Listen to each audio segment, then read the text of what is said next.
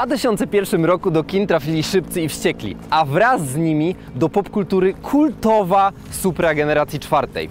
Samochód był sprzedawany w USA, w Europie i w Japonii. Miał 5,1 sekundy do setki i rozpędzał się do 262 km na godzinę. W Stanach utarło się, że to jeden z najlepszych samochodów sportowych e, produkowany seryjnie. Dodatkowo można go było modyfikować na tysiące sposobów i do dzisiaj mamy egzemplarze, które mają po 1500 koni mechanicznych i dalej jeżdżą po drogach i cieszą oko.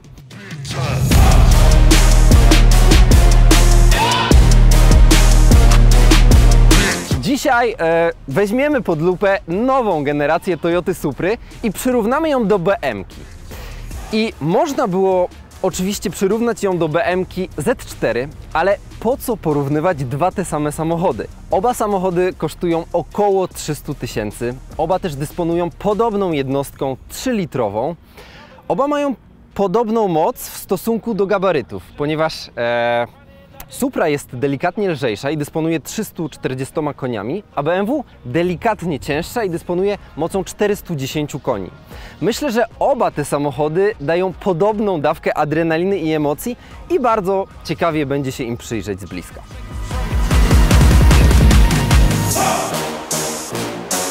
Na pierwszy rzut e, zawsze warto się przyjrzeć zewnętrznie samochodom i tutaj niestety, ale BMW wygląda jak ubogi brat trochę Supry, ponieważ Supra ma charakter ultra sportowy i swoim wyglądem przyciąga i mówi to ja jestem prawdziwym sportowym samochodem i to ja pokażę na co mnie stać i na torze i na drodze. Popatrzcie na ten piękny żółty kolor z felgą, która jest srebrno-czarna i do tego czerwone zaciski tu mamy. No auto wygląda kosmicznie reflektory e, z piękną linią jakby przyszycia. Azjaci zawsze mieli rękę do samochodów e, i większość e, tych samochodów wychodzi w designie kosmicznym. Mało w jakim aucie jest tak genialny dyfuzor i w ogóle tak genialny tył. Światła, te obłe jakby błotniki, dodatkowo dwa wydechy i lampa, która niestety przy hamowaniu nie świeci, ale jakby wydaje nam się, że ona powinna mrugać przy każdym awaryjnym hamowaniu. Supra wygląda obłędnie. Dach, który ma wgłębienie, to wgłębienie nie jest tu bez powodu. To po prostu są wszystko detale, które potem gdzieś pracują na torze, aby ten samochód jak najlepiej się kleił i jak najlepiej jechał. Supra jest bardzo szeroka i bardzo krótka, przez co tworzy to idealny również driftowóz. Samochód jest dwuosobowy, samochód jest dosyć ciasny, w samochodzie czujemy się trochę jak w go-karcie siedząc i też nie bez powodu, bo jest trochę go-kartem.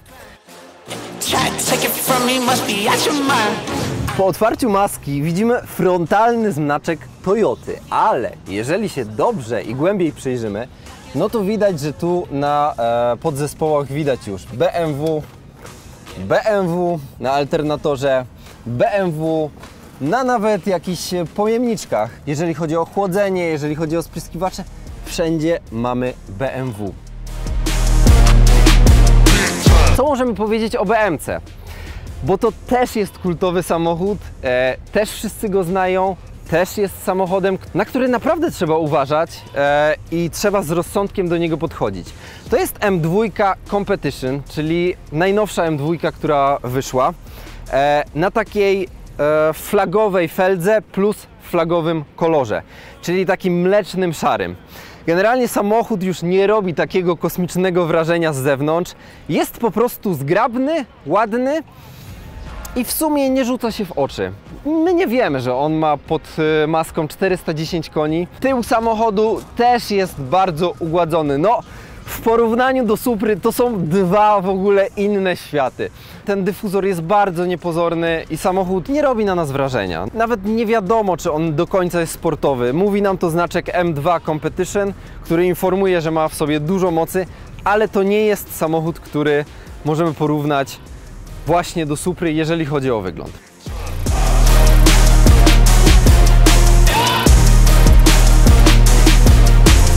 BMW M2 zdecydowanie wygrywa wielkością, e, ponieważ mieszczą się spokojnie tu cztery osoby i bagażnik też jest dużo bardziej praktyczny. ma dużo więcej miejsca i otworzyć go można z tyłu. A w Suprze musimy przejść się do samochodu, wcisnąć guzik i dopiero wtedy możemy otworzyć bagażnik, który jest już sporo mniejszy, ma około 300 litrów, ale wyjąć z niego rzeczy możemy e, na miejscu kierowcy, więc e, fajne rozwiązanie inżynierów Supry.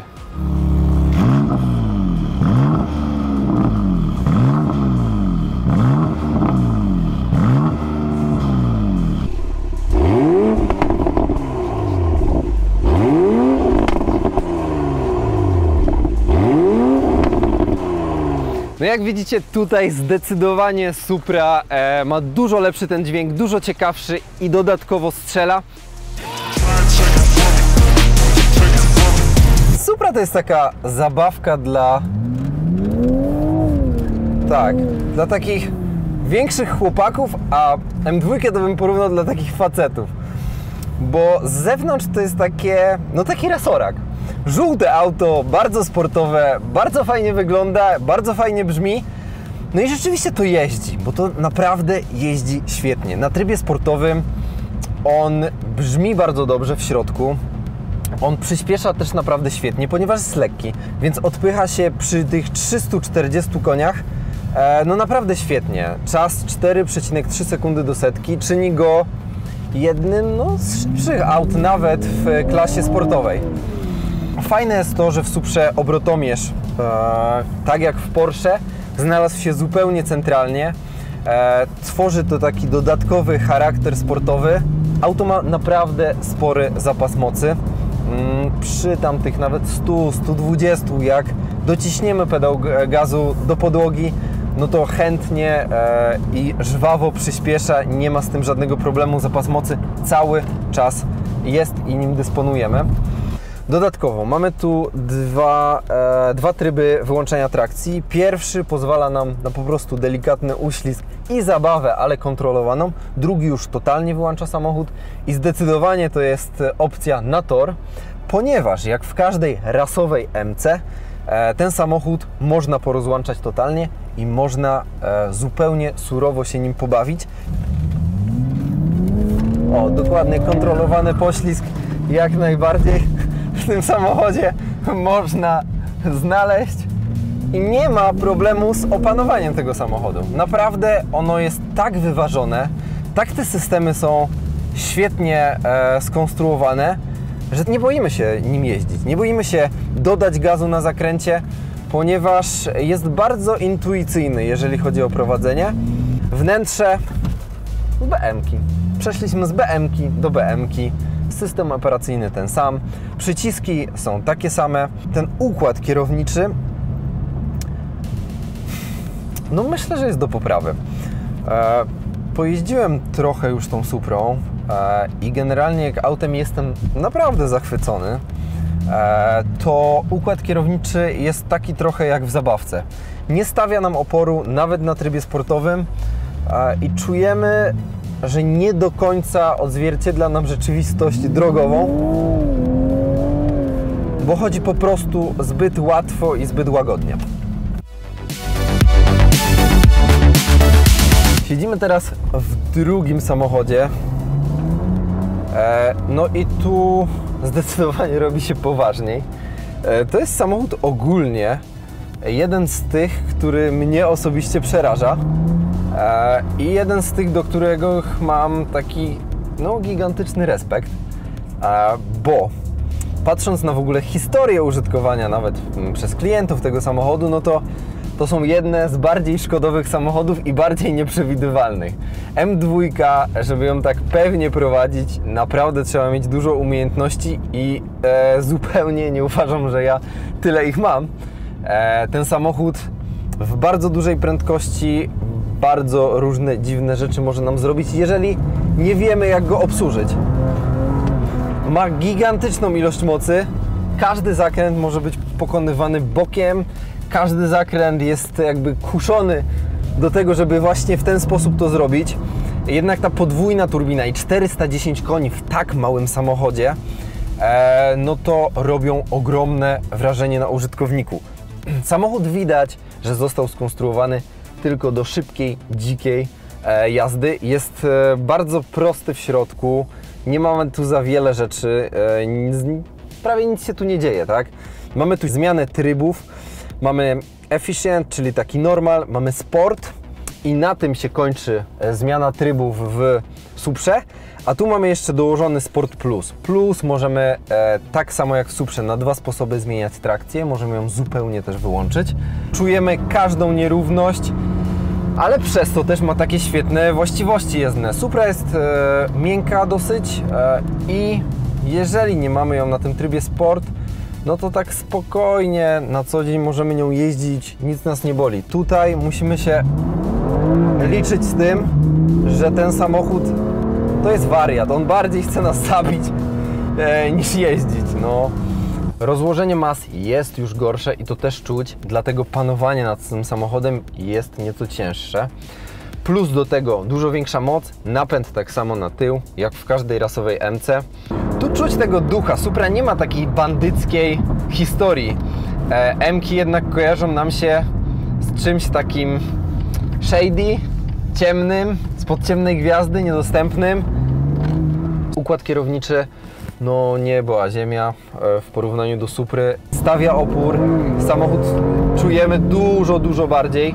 E, Pewniej przez to się troszeczkę czujemy, jeżeli chodzi o to, bo to już czuć, że to nie jest zabawka, to nie jest Hot Wheels, to nie jest resorak, tylko to jest prawdziwe, rasowe, takie dzikie auto e, z odpowiednią ilością mocy.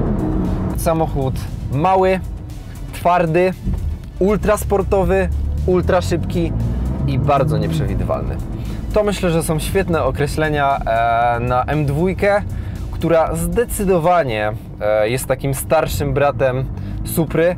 Mimo, że te same podzespoły, mimo, że bardzo dużo środka też jest skalkowane z tej M-ki, no to jednak charakter M-ki jest dużo bardziej dziki e, i nieprzewidywalny. Supra robi dużo większe wrażenie zewnętrzne i rzeczywiście ten samochód niesamowicie wygląda.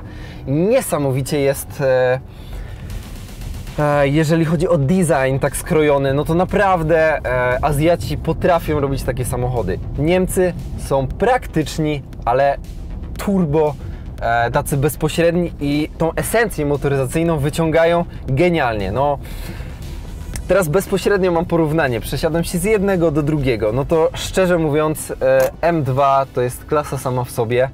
E, I mimo, że właśnie te same podzespoły, mimo, że silnik jest bardzo podobny, że wiele zawdzięcza w ogóle BMW Supra, no to tu widać, że to właśnie stąd, tu jest ta geneza, stąd to powstało e, i czuję się w tym samochodzie naprawdę taki podniecony, e, adrenaliny dużo więcej się wydziela, dużo więcej jakby jest niewiadomych, co za chwilę się zdarzy i co mnie może zaskoczyć. E, to zdecydowanie trzeba mm, BMW oddać i w ogóle całej serii M to trzeba oddać, że te samochody są pod tym kątem niesamowite.